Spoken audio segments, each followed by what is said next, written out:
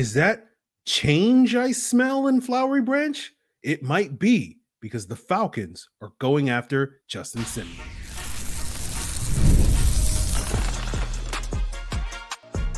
You are Locked On Falcons, your daily Atlanta Falcons podcast. Part of the Locked On Podcast Network, your team every day. Welcome back, everyone, to another illustrious episode of the Locked On Falcons podcast, your daily Atlanta Falcons podcast, part of Locked On Sports Atlanta, your team every day. And today's episode is brought to you by LinkedIn Jobs, who are going to help you find the qualified candidates that you want to talk to faster. Post your job for free at linkedin.com slash locked on NFL. That's linkedin.com slash locked on NFL to post your job for free. Terms and conditions apply. So, guys, if you don't know me, I'm your very humble host, your very humble hater Aaron Freeman. Been hating on the Atlanta Falcons for almost two decades. Well, really three decades, but you know, used to hate on him over at FalcFans.com IRP, but still going strong on this illustrious podcast. You may also know me as Mr. Drew, aka Sirius Black. That's going to come in handy later today. The Jolly Green Giant, the Iron that sharpens the iron, aka Mr. AKA. And I thank each and every one of you guys that is an everydayer of this podcast that hates on this team with me each and every day as your first listen, your first watch of the day. All you got to do to hate, but we're not going to hate on the Falcons anymore. We're going to love the Falcons. All you got to do to love the Falcons is subscribe or follow for free on YouTube or wherever you listen to podcasts. So, right, we're hating, loving. It's it's a mixed bag of emotions today, right? I was listening to a podcast last night. Some idiot podcaster had the audacity to say that the Falcons weren't going to go after Justin Simmons, right? And then I had to laugh at this idiot podcaster, me, by the way, if you're not picking up what I'm putting down. Right. Where the Falcons, we find out the news today that the Falcons are bringing in Justin Simmons for a visit. And it's the Falcons are finally doing something, right?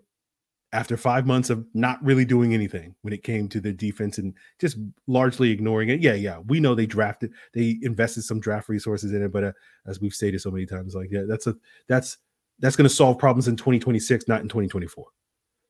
Right. And so for me, if the Falcons manage to land Justin Simmons and no deal is done yet, right? He visited the Saints last week. They didn't get a deal done. Doesn't guarantee the Falcons are going to get a deal done. But if they do land Justin Simmons, it is a massive change for how this organization has operated, not just under Terry Fontenot, but previously under general managers. Gone is the complacency which has been the root of all my hatred towards this football team over the last five years because it's played this organization not only this offseason, but you know, for over a decade. But we'll get into that later in today's episode. So, what are the Falcons getting in Justin Simmons? Well, they're getting one of the best safeties in the NFL. It's put it in a nutshell, they're getting another Jesse Bates, right? Last year, when we were hyping up the Falcons going after Jesse Bates, I talked about how he's like one of the five or six best center fielding safeties in the NFL. Well, the best center fielding safety in NFL at that at least at that time was Justin Simmons, right? So he was number one on the list, and Jesse Bates was like number five or six. So you're actually getting a better version of Jesse Bates in a lot of ways. Now he's not coming off his best season, right? And part of that I know was due to him injuring his hip early in the season. But I know the Locked On Broncos guys certainly still think he's still got plenty left in the tank to be one of the best safeties in the biz and was hugely impactful for that Broncos defense. Is it a coincidence that Justin Simmons wasn't in that Dolphins game that they gave up 70 points? Is that a coincidence? Uh, I don't think it is. But basically, what you're getting in Justin Simmons is everything you love about Jesse Bates. You're you're getting basically the same: the football ability, the ball hawking skills, the speed, the range, the instincts. Not only on the football field, but also off the field with the leader in the locker room, high character player off the field. And so I'm sure some of you, and I've had some people ask me, like, well, Justin Simmons is so good, why did the Broncos cut him? Well, simply put, that was one of the consequences of the, of them taking on the huge dead money hit to get out of the Russell Wilson contract this year. Now, the salary cap is a lie. We'll talk more about why it's a lie later in but it's not a myth, right? There are consequences and repercussions when it comes to big money players like Russell Wilson not performing up to their contracts. And that is something that the Falcons need to keep in mind in the future because they got a lot more big money players and those guys need to perform, but more on that later. And so then it begs the question from a lot of people well, if Justin Simmons is so good, then why is he still unsigned? Well, I can only guess at that. But I imagine part of it is him being on the wrong side of 30. Often, where we see guys get to this certain age, they tend to be very selective on who they sign with and when they sign with. They they're not I'm not going to grind it out in OTAs every day in April and May and June and whatnot. If I can skip half of training camp and, and not sweat it out in the Georgia Heat or the Louisiana Heat or the South Florida Heat or whatever, why not? I'm Justin Simmons. I don't need to go to training camp every day. I got this, right? So I think that's part of it. I think the other part of it is Justin Simmons is very selective on where he lands because, from what I hear, he wants to win, right? He's been in the NFL for eight years, never played in the playoff game. Denver has never made the playoffs in the eight years that he played there. So now that he knows that, you know, the clock is ticking on how long his NFL career is, because typically safeties aren't playing until they're like 35, 36. Some do, but it's rare. You know, you got a couple more years left. You want to maximize your winning opportunities, right? And so I think that's a big reason why Justin Simmons is slow playing his market. And the other one is probably the market isn't as robust as he would like it to be. He's not going to probably sign for anywhere cheap, right? Which is what I'm assuming why he didn't get come to a, a deal with the Saints last week because he wanted a certain dollar amount. They were like, eh, well. and he was like, all right, we'll see. I'll shop. I'll shop myself around. We'll see what's what's going on. Right. We saw a slow safety market all off season long, where several of the guys near the top of the market, you know, had to kind of settle for one or two year deals for like three, four, five million dollars. Right. Kamren Curl, Julian Blackmon, Quandre Diggs just signed with the Titans. Jordan Fuller, Jordan Whitehead. Now some guys got paid. Right. Xavier McKinney, Kyle Dugger. But if you're Justin Simmons, like you know, you've been the best safety in the NFL basically for five years why wouldn't you want to to get what you think your your money's worth? And again, I can only speculate on what that figure is, but my guess is based off of the market, you know, it's probably like eight million dollars, ten million dollars, maybe more, right? Especially if you're not going to be able to get a long-term deal, right? For that, you know, 16, 17, 18 million dollars that I'm sure Justin Simmons like, I'm still worth that or whatever, but we'll see on that. So I think the money is going to be the biggest challenge for the Falcons to reel in such a big fish like Justin Simmons, right? as someone idiot podcaster mentioned yesterday on his pod that you know Falcons only have three million dollars in cap space, and the question is, can they reel in someone like Justin Simmons with that amount of money? And that's where we're going to get into our next conversation here on Locked On Falcons, which is how big a lie is the salary cap, and can the Falcons gaslight it into uh, you know landing Justin Simmons? We'll do that as we continue today's Locked On Falcons. Passion, drive, patience. It is the formula for winning championships, and it's also what's going to keep your ride or die alive.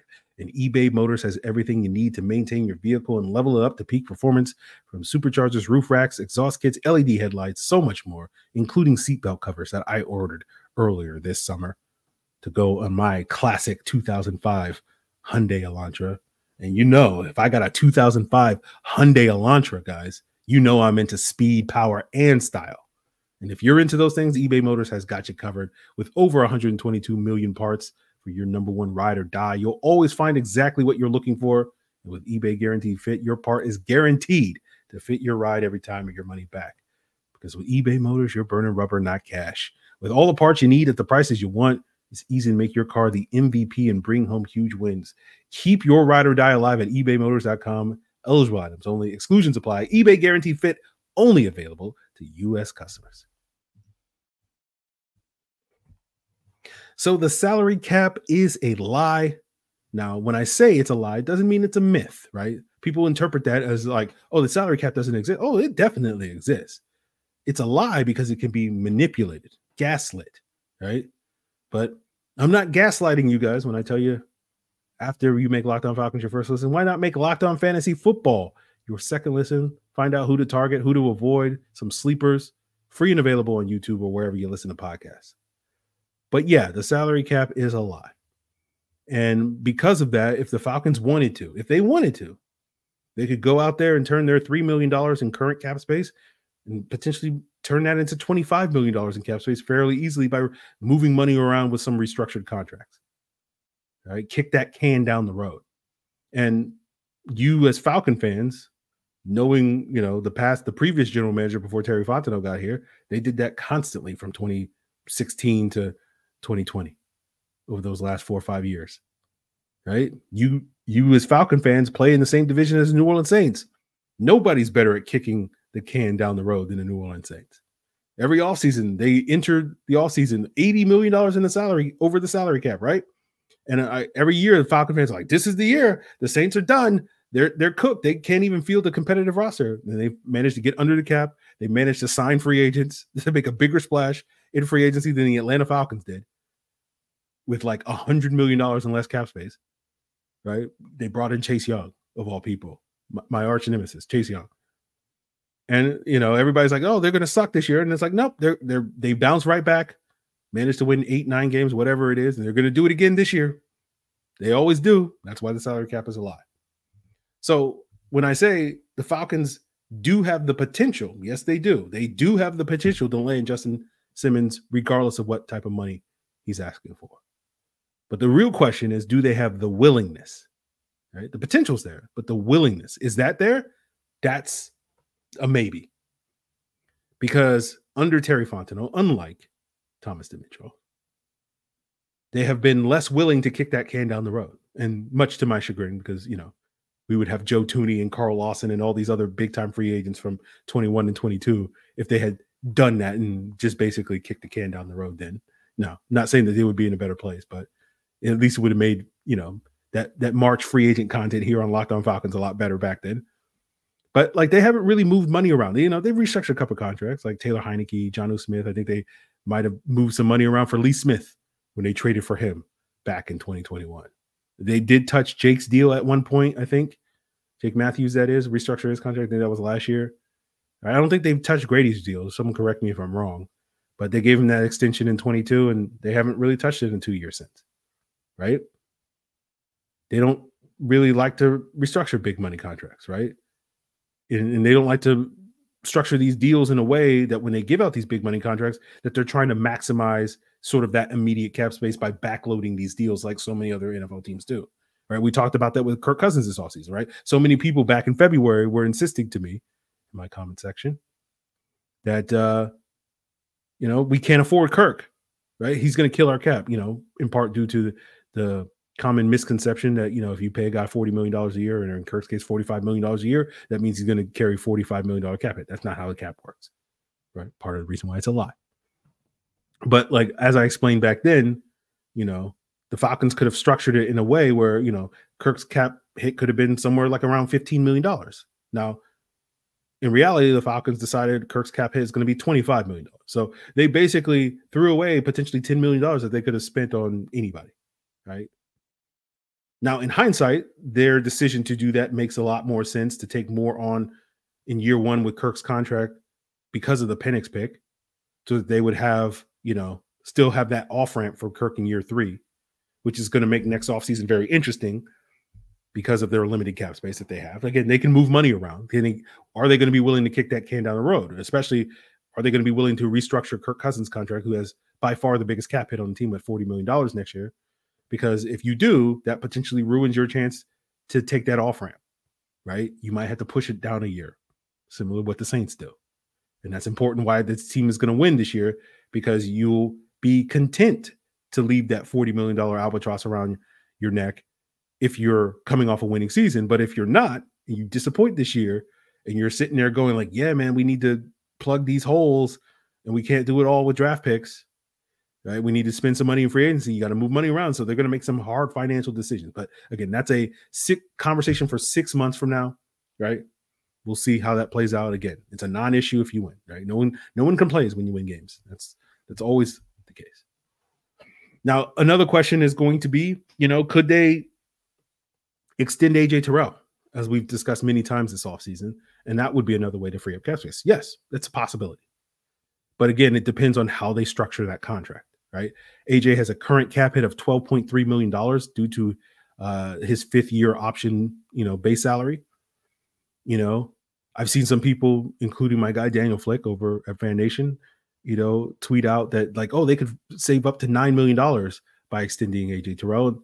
And that's not 100% true based off of what I understand. It really depends on the structure, how much money they would save uh, extending AJ, the structure of his new contract, right? I think that $9 million figure comes from the idea if they lowered AJ Terrell's $12.3 million salary to the vet minimum and then converted the difference into signing bonus, which they then spread out over the maximum number of five void years. Right? That's not really an extension, that's just a fancy restructure.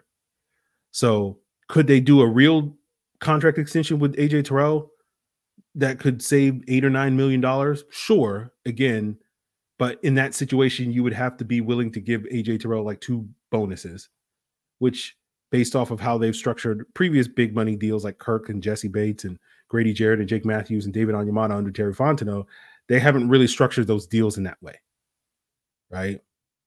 So I don't think they're going to be saving a ton of money if they do find a way to extend AJ Terrell in like the next 48 hours, right?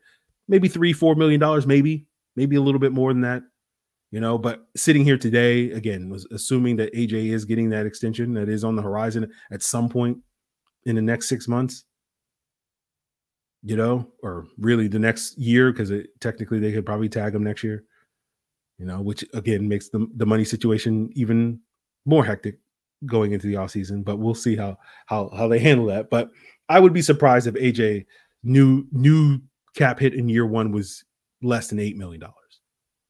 Right? Because if it was lower than that, you're probably looking at a second year cap hit of like 30 plus million dollars or something like that. And then that would force you to kind of have to restructure it, which is again something that they've been reluctant to do. So instead, you just probably built in the structure initially where it's like that initial cap hit is like $10 million and, and then the second year cap hit is something like i don't know $20 million i don't know what it is. So that you can avoid kicking that can down the road which they seem to want to avoid at all costs. Now maybe you know they're changing things but all that to say is can they afford justin simmons? Yes. If they're willing to move money around. Then it begs the question of are they willing to move money around? And the answer is maybe but so far over the last four years the answer is not really they're not willing to move money around. But things are changing, right? And we'll talk about why this pursuit of Justin Simmons shows that things are changing. And we'll also give you the latest updates on DeMarco Hellams and his status as we uh, wrap up today's Locked on Falcons. Now, in the NFL training camp and the preseason is all about finding the right quality professionals to fit your team and you're constantly looking for that for your small business, but you don't have to sweat it out in the Georgia heat to find it because all you got to do is head on over to LinkedIn Jobs. They have the tools that can help you find the right professionals for your team faster and for free. LinkedIn isn't just any old job board, they help you hire professionals that you can't find anywhere else, even those who aren't actively searching for a new job. But just might be open for the perfect role in any given month. Over 70% of LinkedIn users don't visit other leading job sites. So if you're not looking on LinkedIn, you're looking in the wrong place. On LinkedIn, 86% of small businesses get a qualified candidate within 24 hours. Hire professionals like a professional on LinkedIn. Post your job for free at linkedin.com slash NFL. That's linkedin.com slash NFL to post your job for free. Terms and conditions apply. So we did get that DeMarco Hellams update today, as that idiot podcaster suggested on his most recent episode. And um, Raheem Morris said it was a significant ankle injury. He's going to miss significant time due to an ankle injury. And again, I think that idiot podcaster, myself, uh, indicated if you missed yesterday's episode uh, when I was saying crazy things, the one thing I got right was, or seemingly right, we'll see. We'll see how it goes. But it's the idea that they're going to wait till after final cuts to put Hellams on injured reserve so that then they can bring him back during the season. Now, Raheem didn't specify what significant time is. Again, if it's a if it's an ankle or something like that, again, I'm I'm assuming it's like two months minimum. We'll we'll see. So, you know, maybe sometime middle of the season we might see DeMarco Hellams again. We'll probably get more information at some point, but until then we can only speculate. So, uh DeMarco Hellams is going to miss a significant chunk of the season. Well, or let's just say this, based off of the expectation that he will be on the short term IR he's going to miss at least four games. That will, that's that's all we can really say at this point. So we'll see how that goes. But uh, the Falcons did make some other roster moves today. They signed two DBs, Josh Thompson, the safety, and William Hooper, the corner. Uh, I think both of these guys are depth pieces. Can maybe potentially come in, earn a practice squad spot if they they ball out over the next, you know, two games or whatever. To make room for them, they cut wide receiver Austin Mack, who they picked up earlier this offseason from the CFL. And then, of course, they cut the one player that theoretically could have been a fullback for them. That was Robert Burns, who started camp on the pup list injured. And so clearly, no longer do the Falcons have even someone who resembles a fullback on the roster. And so it's truly an end of an era. So it's a sad time for me personally in the brand. So, you know, it's caused me to think a lot about, you know, my beginnings, right? You know, I was born by the river in a little tent. And just like the river, I've been running ever since. It's been a long time coming, but I know a change is going to come. Oh, yes, it will. And so it begs the question are the Falcons changing how they do business? Is the complacency that you've heard me complain about constantly on this podcast for months, if not years, gone?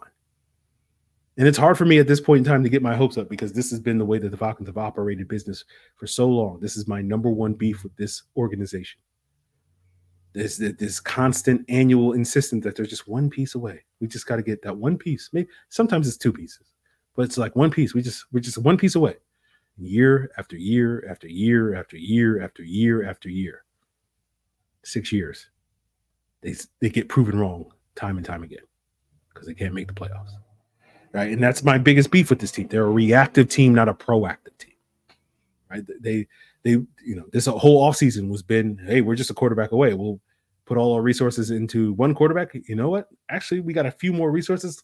Let's invest that in the second quarterback. And again, I'm not mad at the Falcons upgrading the quarterback. It's an important piece, but that's not all you're going to do, right? Again, oh, you know, they also beefed up their D line depth, right? But I was having a, a conversation with the folks in the Discord over the weekend, right? and I basically told them, and I'm, I'm sure this is going to be a there was a surprise to some of them, and I'm sure it's going to be a surprise to some of y'all.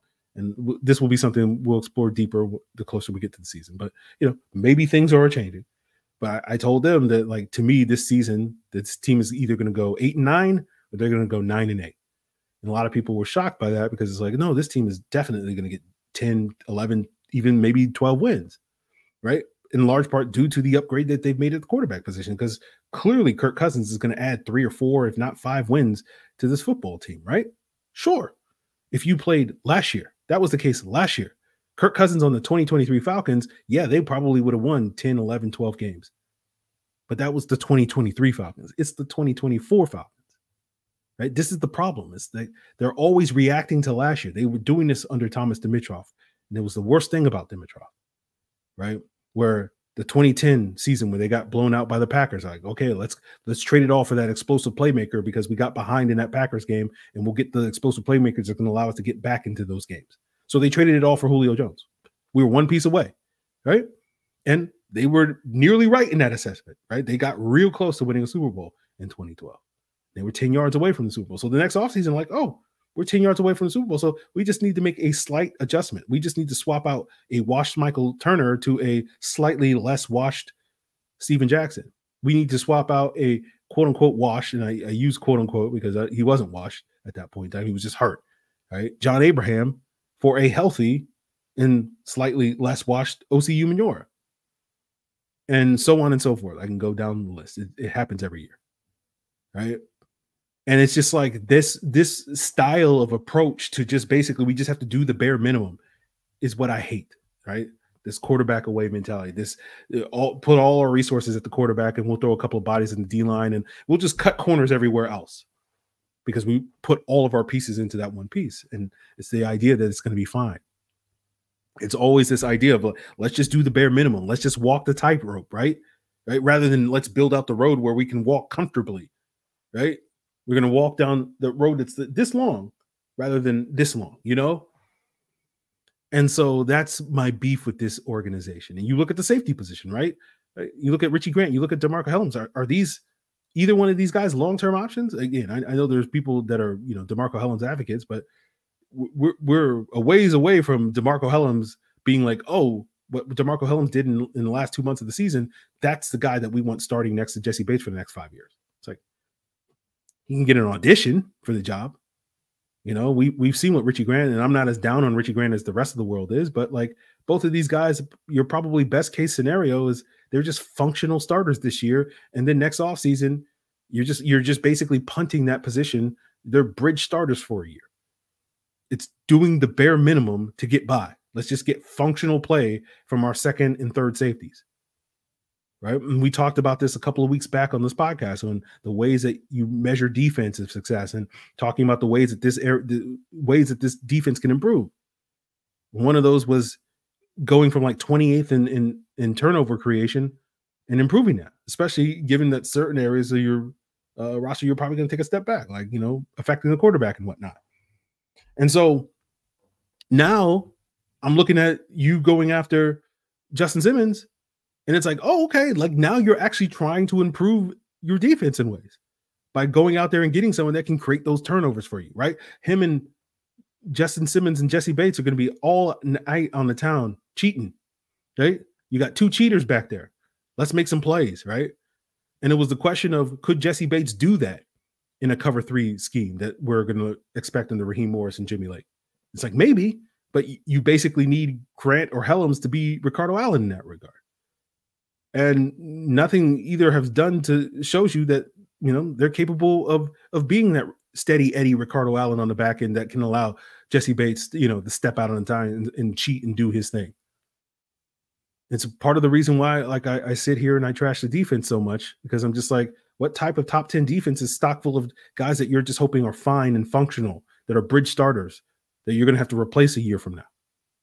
Again, that's fine for the Falcons in 2021 and 2022 when you're kind of in this early rebuild mode and whatnot, and you're kind of feeling it out and trying to figure things out. It's not fine in 2024, guys, right? When you need to win games.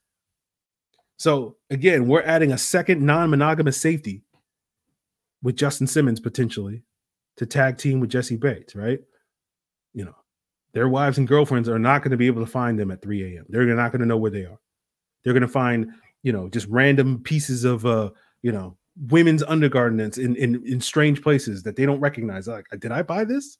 Because we got two cheaters, and I love it, right? We do not believe, this is the official statement. You can quote me on this. We do not believe in monogamy on the Locked On Falcons podcast. That's that's our new mantra if we land Justin Simmons. So finally, finally, this team has gotten off their butt after five months of just basically twiddling their thumbs. So hopefully they land this big fish because now you got to reel them in because you know trying to sign Justin Simmons doesn't mean nothing to me. Right? You tried to get Danielle Hunter. You tried to get Montez Sweat. You tried to get Deshaun Watson. You tried to trade back into the first round, right? Trying doesn't give me any solace if you only get 29 sacks this year. Right. So let's see if the Falcons can pull it off. Um, you know, I'm tired of waiting for this team to get up off their butt. They're finally getting up off their butt, but they, they got to pull in this fish. So I'm tired of waiting. I did 12 years of it in Azkaban. So uh, we'll see what the Falcons can do if they can uh, get us out of Azkaban prison and, and actually give us something to root for on this on the defensive side of ball, something to get excited about, other than just functional second, third, and fourth round picks that may or may not be good. Right. So we'll see. We'll see. We're we're hoping, man. We're hoping. Wonderful time to be alive. Beautiful time. Right. What, what, what's the tank quote from uh the Matrix? We're just quoting all the movies. Right. You know, very exciting time. So we'll see if the Falcons do something with Justin Simmons. See if they do something with the pass rush. Potentially tomorrow, that will be a topic of conversation. You know, talking about moving Zach Harrison to out to edge. Maybe that will help alleviate the Falcons pass rush issues. We'll keep you certainly up to date on Justin Simmons, but we'll probably just have to wait and find out. I know we're going to be sitting here. I'm not, I'm not going to do a full Justin Simmons breakdown. I'm not I'm not going to get your m- mouth ready for some hash without having some hash. We we need to reel in the big fish. We need to be eaten before I start, you know, talking about all the accoutrement that we're going to be spring. You want some blackened fish? Oh, oh, we got to reel in that big fish. Oh, you want some sriracha, honey sriracha? Oh, I made this glaze, maple glaze, all that stuff. We got to reel in the fish first. So we, we won't get too deep into what Justin Simmons could potentially bring until we reel in that fish. But in the meantime, maybe the Falcons will go after a pass rusher. I said they won't go after Justin Simmons. I said they won't go after Haason Reddick. Maybe that means they'll actually go after Haason Reddick maybe that's something worth exploring on tomorrow's episode. So we'll see, guys. Make sure you make us your first listen by uh, subscribing on YouTube or wherever you listen to podcasts. Check out Locked On Fantasy Football as your second listen. Check out Locked On Sports Atlanta as your second listen. It's all part of Locked On Podcast Network. Your team every day.